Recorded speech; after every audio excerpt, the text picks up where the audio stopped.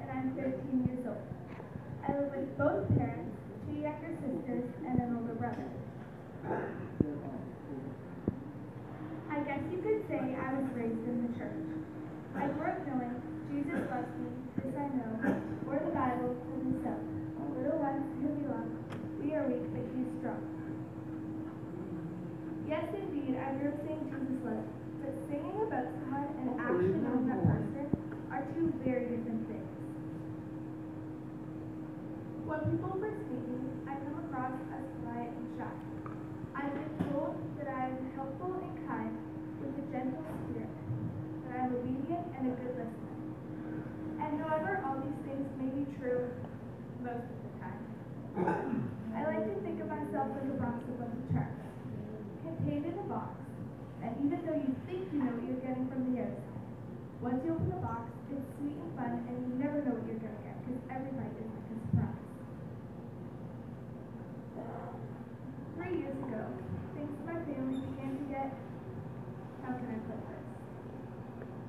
Let's just say, we began to enter into a season, kind of like winter, cold and long, and you never really know when the storm is going to hit. I was only 10 when I remember sadness entering in my home. Meaning in the span of two years, I watched my family experience grief more than most of in a lifetime. Apparently, nine deaths in less than two years isn't normal. And that's immediate family, not just people we know. Now, all you moms out there, let me let you in on a little secret. You need to know that you are the glue that holds a family together. And when you are not okay, the whole family is not okay. Dads are awesome too, don't get me wrong, my dad's awesome. But I think we can all agree that when mom is affected by life circumstances, the rest of the family is affected. Even our dads, it's just the way it goes.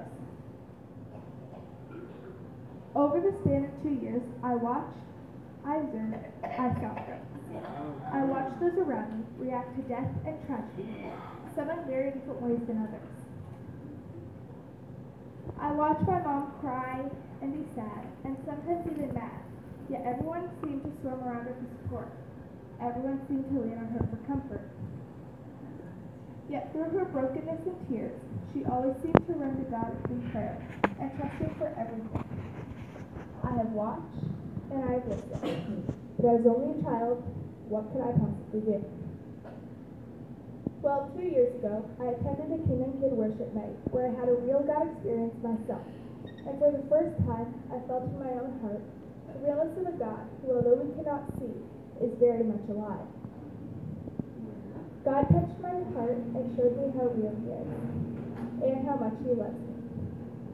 Jesus Loves Me is no longer just a song I sing, it's my everyday reality. Because once you know how much God loves you, I mean loves you personally, once you experience this love, it changes everything. I may be quiet until you get to know me, that is. But in my quietness, I observe, I see things. Many things. And I've seen tragedy, and I've seen how people respond to tragedy. And those who hope in the Lord, He never leaves, He never forsakes, because His love is real, tangible, and true. I didn't think anyone noticed me in the background, but God did. He was with me the whole time and will continue to be. I don't need, I don't have to go through hard times myself know God is real and can be trusted. I've seen with my own eyes the difference it can make when you put your trust in God. I've seen it firsthand. As I watch and learn, I see that this life is not kind. But why are we surprised when difficulties come our way? The Bible tells us we will have trouble in this life. What you need to ask yourself is when difficulties come, and know they will, are you going to? I'm the one I'll turn to. I won't let the storm weather my heart. I won't let the darkness beat me down. Because Jesus lives in me, and He is the only one who calms the storms of life, so we can walk on water.